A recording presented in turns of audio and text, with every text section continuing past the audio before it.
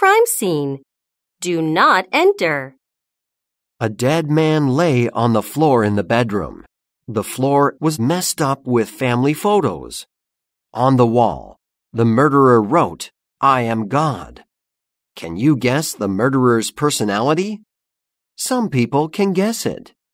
People call them profilers. Criminal profilers look at evidence.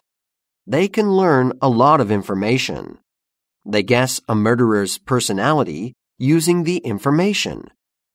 Profiling was not common in the past.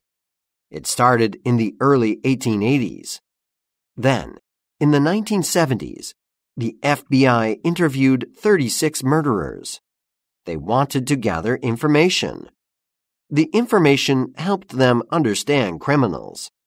They learned that there are different kinds. Today, many people know about criminal profiling. It helps solve crimes in various places. Criminal profiling can be useful. Is the criminal married, old, or educated?